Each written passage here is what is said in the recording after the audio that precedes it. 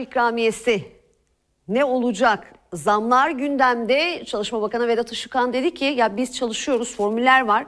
Hazine Bakanımız, Maliye Bakanı, Hazine ve Maliye Bakanımız Mehmet Şimşek'le de bir görüşme gerçekleştireceğiz. Sonrasında da Cumhurbaşkanımıza sunacağız ve açıklanacak. Peki hangi formüller üzerinde duruluyor? Biz emeklilerle de konuşacağız ama şimdi sosyal güvenlik uzmanı sevgili Özgür Kaya bizlerle birlikte yani emekliler tabii Özgür Bey diyor ki yani bu en düşük emekli maaşı artsın. Hani zamlar da ne ama tabii ki bayram ikramiyesi önemli ki formül üzerinde konuşulduğu söyleniyor.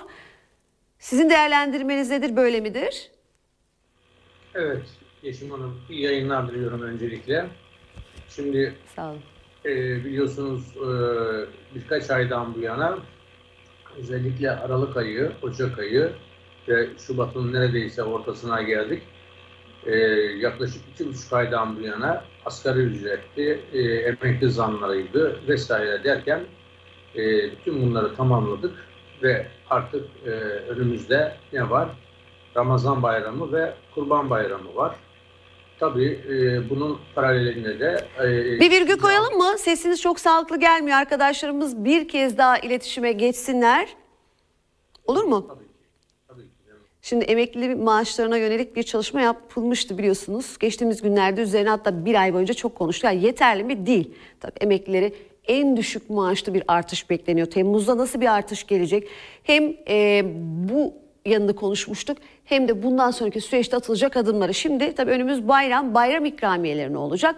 Bayram ikramiyeleriyle ilgili bir çalışmadan bahsetti. Çalışma Bakanı Sayın Vedat Işıkhan. Evet dedi e, bu adımı atmaya hazırız emekli ikramiyelerinde artış olacağını, çalışmaların da devam edeceğini söyledi. Sonrasında konuyu Hazine Bakanımız Mehmet Şimşek'le de görüşüleceğini, ardından da Cumhurbaşkanı Erdoğan'ın onayına sunulacağının altını çizdi. Peki nasıl bir emekli maaşından bahsediyoruz? Ne kadar olacak?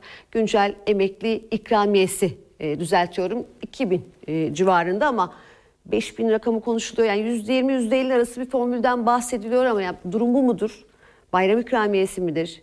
Asıl önemli olan en düşük emekli maaşının bir artışa gideceği olur mu? Beklentiler var.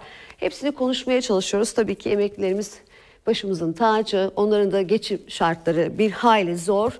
Yetmiyor, cebimizde para yok diyorlar. İşte ekranda da o emekli vatandaşlarımızı görüyorsunuz ki biz yeniden Özgür Kaya'ya dönelim. Özgür Bey Özgür Bey. Giderdi arkadaşlarımız. Evet evet. evet. Duyuyorum. İki formül demiştik bir virgül koymuştuk anlatıyordunuz buyurun. Evet. Tabii e, Aralık ayı, Ocak ayı, e, Şubat'ın ortası derken iki buçuk aylık süre geçti ve bu süre içerisinde e, hızlıca anlatayım hemen kısacık. E, emekli maaşlarıydı, asgari ücretli derken nihayetinde geldik e, Ramazan bayramı ikramiyesine. E, tabii ki e, bunun akabinde Kurban Bayramı'nı konuşacağız. Hemen akabinde de ikinci 6 aylık zammı konuşmaya devam edeceğiz sizlerle. Evet emeklilerimizin gözü kulağı şu an e, Ramazan ayında verilecek olan ikramiyeye çevrilmiş durumda. Tabii ben e, geçtiğimiz e, pazartesi gününden itibaren bu konuyla ilgili yapmış olduğum çalışmaları e, kısaca sizlerle ve izleyicilerimizle paylaşayım.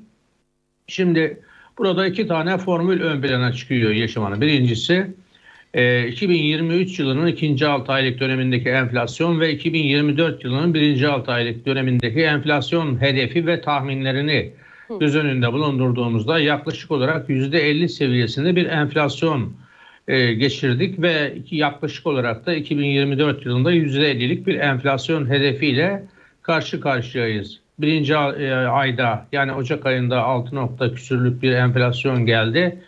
Bunu e, yaklaşık olarak 6 aylık döneme yaydığımızda e, hemen hemen bu rakama ulaşmış olacağız. Bu da şu anlama geliyor. 2023 yılında ki Ramazan bayramı ve Kurban bayramında ödenen 2000 liralık emek, bayram ikramiyelerinin 3000 lira olma ihtimali kuvvetle muhtemel. Bunun altında bir rakamın olma olasılığını ben açıkçası 3000 lira e, çok e, şey görmüyorum, olası görmüyorum.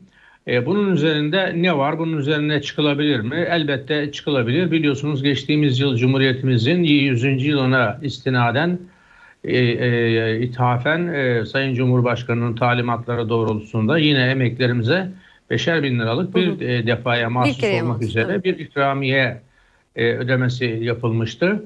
E, bunu da dikkate aldığımızda arada 3 bin lira ile 5 bin lira arasında bir rakamdan e, söz etmek mümkün. Tabii burada e, e, Sayın Bakan'ın Işıkhan'ın yapmış olduğu açıklamada e, enflasyon hedefleri göz önünde bulundurularak bütçe e, dengeleri enflasyon hedefi göz önünde bulundurularak e, birinci e, Ramazan bayramı ikramiyesinin hangi seviyede olacağı da 3 aşağı 5 yukarı bütçe e, disiplini içerisinde belirlenmiş olacak. Yani bir kere şunu net olarak söylemekte yarar var. E, izleyicilerimiz, bizi takip eden izleyicilerimiz %50'yi e, garanti olarak görme olasılıkları e, çok yüksek. E, bunun üzerinde bir rakam gelirse sürpriz olur mu? Sürpriz olmaz ama emeklerimizin Ramazan bayramlarını veyahut da kurban bayramlarını daha rahat bir e, ortam içerisinde geçirmelerine olanak lira, sağlamış olur. 3 bin lira çok düşük bir ücret zaten. zaten alınan maaşlar belli. Şimdi emeklilerimiz bizi de izliyor. Özgür evet. Bey yani be, Şimdi, daha yüksek oranlar olma ihtimali nedir? Siz tabii ki kulis bilgiler içindesiniz sürekli görüşmeler de yapıyorsunuz ama...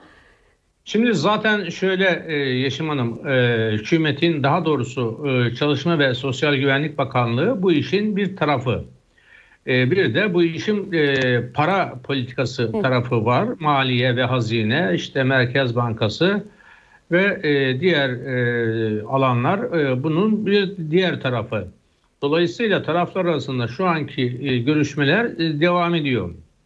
Hı. Sayın e, Şimşek'in e, vereceği buradaki bütçeden artıracağı ya da bütçe e, disiplini içerisinde emeklilere aktarabileceği fon ya da kaynak neyse onun tamamını e, aktarmalarında herhangi bir e, çekincede e, bulunmuyorlar. Yani emekli işin içerisine emekli girdiği zaman hükümetin eli gerçekten bu noktada hani biraz e, tarafkir bir e, söylem gibi olacak ama açıkçası bu işin içerisinde bu işin hesabını kitabını yapan bilen bir insan olarak baktığımızda e, hükümet e, emekliler açısından e, bu noktada eli açıkçası e, biraz e, bol tutuyor. E, tabii bunu yaparken de enflasyon hedeflerini şimdi vermiş olduğunuz her bir rakamın karşılığı da illaki piyasada bir yansıma buluyor. Biliyorsunuz bizim e, şu anki en büyük sıkıntılarımızdan bir tanesi piyasadaki fiyat istikrarı ile ilgili sorun. İşte hükümetin e, Ticaret Bakanlığı marifetiyle, e, yerel kolluk kuvvetleri marifetiyle bunu çözmeye çalışıyorlar. İşte ne yapılıyor? Örneğin marketler denetleniyor, fiyatlarla ilgili oynamalar denetleniyor. E, hükümet şu an e, ciddi bir e, çalışma içerisine girmiş durumda. Fiyat istikrarını koruyabilmek adına. Şimdi biz bugün itibariyle emekliye yüzde yüz zam yapılacak dediğimiz andan itibaren şimdi 5 e, bin lira dediğimiz zaman yüzde yüzün üzerine de çıkmış oluyoruz. 4 e, bin lira verilmiş olsa yüzde yüzlük bir artış meydana getirecek.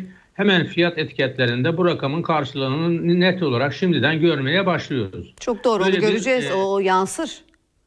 Evet böyle bir ahlaksızlık enflasyonuyla da ya da bir e, ahlaksız fiyat e, e, istikrarsızlığıyla da ne yazık ki karşı karşıyayız. Hükümet bunları bir taraftan gerçekleştirirken bir taraftan da tabii ki elindeki imkanlar ölçüsünde emeklisine, işçisine e, bir takım kaynakları aktarmaya çalışıyor. Tabii bunlar e, zaman içerisinde oturacak. Sayın Şimşek'in yapmış olduğu açıklamalara baktığımızda enflasyonla mücadele noktasında 2024 yılının ikinci 6 aylık dönemi ve 2025 yılını işaret etmeleri ve bundan sonraki süreç içerisinde emeklerimizin almış oldukları ya da hükümet tarafından ya da kaynaklar tarafından kendilerine aktarılmış olan ödeneklerin daha e, verimli e, olacağını e, söylemek mümkün. Bunu da nasıl yapacaklar? Tabii ki fiyat istikrarını ve enflasyonu düşürmek suretiyle sağlamış olacaklar. Ve dolayısıyla da emeklilerimize yapılacak olan zamlar bu noktada en azından alım gücünü koruma noktasında Tabii. önemli bir argümanı işaret İnşallah. etmiş olacak. Peki ne zaman ee, açıklanır? Geldik. Buyurun siz devam edin. Buyurun. Şimdi bu e, rakam e, Mart ayının sonlarına doğru e, muhtemelen açıklanması e, bekleniyor. Açıkçası ben e, Mart'ın 20'si ile 30'u arasında emeklilere verilecek olan emekli ikramiyelerinin rakamının telaffuz edileceğini net olarak söylemekte e, bir beis görmüyorum. Tabii ki öncesinde değişik e, kesimler tarafından bir takım e, tahminler bulun, tahminlerde bulunacak. Bu işler tahminle olmuyor biliyorsunuz. E, biz sizlerle konuşmalarımızda hep tahminden uzak, matematiksel ve bilimsel çalışmaların sonucunda ortaya çıkan rakamın verilmesi ya da verilecek olmasını hep ön plana çıkardık. E, benim tahminim şu olacak, senin tahminin bu olacak. Burası bir e, şans oyunu değil ya da e, bir spor müsabakası bana göre sana göre değil. Burada bir matematik var, burada bir e, hesaplama var. Bunun bir altında e, parasal boyutu var, ekonomik dengeler var. Dolayısıyla bütün bunları dikkate aldığımızda bizim bugünkü ulusal e, kanalda yapmış olduğumuz açıklama bizim bundan sonraki yaklaşık 20-25 gün içerisinde ortaya çıkacak tabloyu da net olarak ortaya koyduğumuzu ve rakamların nerelerde olması gerektiğinin de bir işaret fişeğini ateşlemiş olduk. Dolayısıyla dolayısıyla Mart ayının 20'si ile 30'u arasında bu rakamın net olarak ortaya çıkması ki zaten e, Nisan ayının ilk haftası içerisinde de e, emekli ikramiyelerinin emekli ikramiyeleri e, emeklilerimizin banka hesaplarına yatırılmaya başlanacağı bir tarih olarak e, işaret ediliyor. Dolayısıyla e, Mart ayının son haftası yani seçime e, bir hafta 10 gün kala e, bu rakamın da e, ortaya çıkması kuvvetle muhtemel. Tabii ki bazı kesimler bunu bir seçim yatırımı ya da bir seçim vaadi olarak da değerlendirecekler. Halbuki öyle değil. Tabii ki bu tür konular zaman zaman seçimlerle de çakışabilir. Zaman zaman farklı durumlarla da çakışabilir. Bunları seçimle mukayese etmek ya da seçimle e, özdeşleştirmek çok doğru değil. E, ister seçime denk gelir, ister başka bir e, sürece denk gelir. Bunlar hayatın olağan akışı içerisinde var olan gerçeklerdir. Bunun bir seçim yatırımı vesairesinden ziyade ki vatandaş bilmiyor mu yani seçimden sonra ya da açıklansa bu rakamı alacağını veya da seçimler önce açıklandığı için bu rakam verildiğini e, bilmiyor mu? Artık eski, eskiden de bu seçim öncesinde e, bir takım e, spekülatif ya da e, bazı işte e, bütçenin e, işte e, açılması vesairesi bütün bunlar geçmişler yıllarda uzunca bir süre içerisinde bunları hep gördük ama artık e, öyle bir durum söz konusu değil. O zaman Çünkü açıklanacak karşılığında... ücret önemli. Şimdi ben, biz e, sıkı en güzel politikaları tamam. Yani yine Merkez Bankası Başkanı da gereken parasal sıkılığı korumakta kararlıyız dedi. Enflasyon vurgusu yaptı. Sayın e, Mehmet Şimşek ve ekonomi yönetiminin yol politikasına baktığımız zaman da e, sıkılaşma politikalarının devam edeceği, vergide bir genişleme olacağı açıklamalarında sıklıkla duymaya başladık.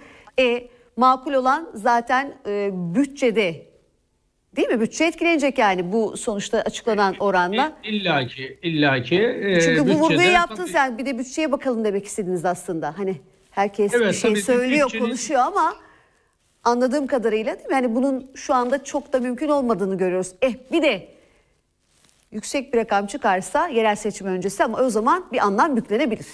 Göreceğiz hep birlikte takip Kesin, edeceğiz.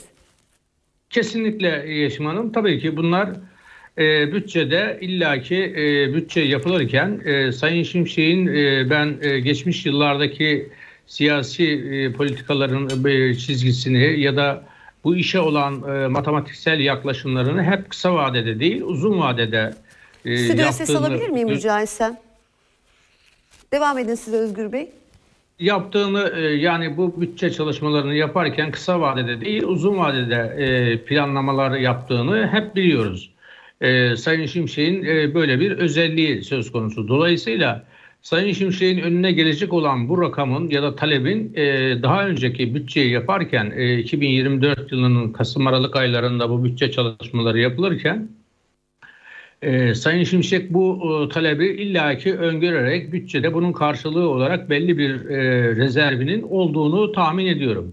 Tabii bu e, bütçe içerisinde yıl sonu itibariyle bütçe açığını da dikkate alarak e, makul seviyede tutması ya da opsiyonel yani bütçede meydana getirecek e, açığı opsiyonel e, çerçevede değerlendireceğini de e, göz ardı etmemek lazım. Ee, burada hedef neydi? Hedefimiz enflasyonla mücadele, fiyat istikrarı. Esas en önemli iki tane argümanımız var. Birincisi enflasyonla mücadele, ikincisi de fiyat istikrarının korunması.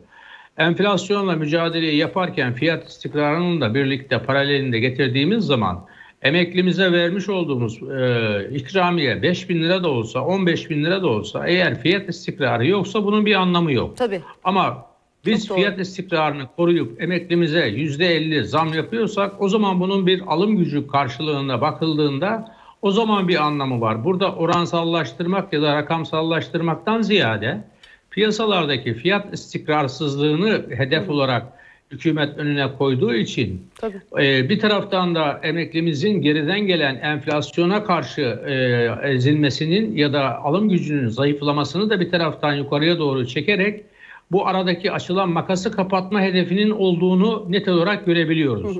Yani emeklilerimiz şunu e, unutmasınlar. Yani bizi takip eden izleyicilerimiz yani biz burada yüzde elli dedik işte siz hükümet yanlısı konuşuyorsunuz ya da tarafkir konuşuyorsunuz noktasında değil. Burada oransal olarak rakamın ne olduğundan ziyade alım gücünün ne olduğunun e, önemi ön plana çıkmış oluyor.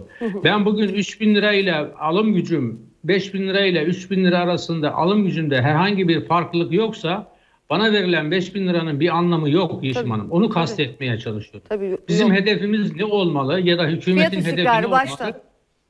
Evet, fiyat istikrarını koruyarak enflasyonu düşürme hedefi. Bunu yaptığınız zaman 3 bin lira da verseniz, 4 bin lira da verseniz o zaman bizim söylediğimiz noktaya gelmiş olursunuz. Burada tabii ki gönül ister ki yüzde 250 zam verelim ya da yüzde 500 zam verelim. Ama bunun karşılığı marketlerde etiket fiyatlarında da alım gücümüzü o nispette aşağıya çekmişse bunun bir anlamı yok. Benim kastetmek istediğim nokta o. Biz 3'e 5'e takılmadan öncelikli hedefimiz fiyat istikrarını ve enflasyonu e, zapturapt altına almak ve ondan sonra hükümetin arkadan gelen eksiği yani makas açığını ya da e, aradaki farkı kapatma eğilimine gitmek. Yani burada neyi kastediyorum? Benim alım gücüm 5 bin liranın karşılığındaysa ben 3 bin lira alıyorsam 3 bin lira ile 5 bin liranın arasındaki farkı hükümetin kapatma hedefine destek olmak ya da bunu ortadan kaldırmak. Ama 5 bin lirayı market eti raflarında 5 bin lira değil de bu sefer 6 bin lira 7 bin lira görüyorsam o zaman benim yaptığım işin bir anlamı kalmamış oluyor. Bunu kastediyorum. Çok iyi anladık. Çok teşekkür ederiz. Ama bizim atladığımız altını çizmek istediğiniz bir mesajınız varsa lütfen alalım Özgür Bey. Ee, şunu söyleyeceğim Lütfen. Yeşim Hanım. Ee, ben e, geçtiğimiz aylarda da e, hem asgari ücretle ilgili açıklamalarımızda hem emekli maaşlarıyla ilgili açıklamalarımızda e, genelde açıklamalarımızı hep e, bir e, kısmet diyeceğim. E, size hep e, denk geldi, nasip oldu. E, bu rakamları izleyicilerimiz e, bir yere not etsin. Editörlerimiz de yönetmenimiz de bu rakamları bir yere not ederse e, bizim hesaplamalarımız e, hem e, matematiksel hem bilimsel hem de e, piyasa koşullarını dikkate alarak Kesinlikle. e, tamamen tahmine dayalı değil, e, böyle verisi altı sağlam e, verilerdir. E, o bakımdan e, izleyicilerimizin dikkatine arz etmiş olalım. Çok teşekkür ederiz. İyi ki varsınız ve iyi çalışmalar diliyoruz Özgür Bey. Sizler de. Teşekkür Görüşmek ederim. üzere. Sizlere de iyi yayınlar Sağ diliyorum. olun. Görüşmek üzere. Sağ olun. Sağ olun. Sosyal güvenlik uzmanı sevgili Özgür Kaya ile konuştuk. Emekli ikramiyelerini. Bakalım hangi açıklamalar gelecek artık bundan sonra gözler. Ee, Hazine Bakanı Mehmet Şimşek ve sonrasında Sayın Erdoğan açıklamalarında olacak diyelim. Vedat Işıkhan'ın açıklamaları doğrultusunda. Şimdi haberlerimize kaldığımız yerden devam ediyoruz. Amerika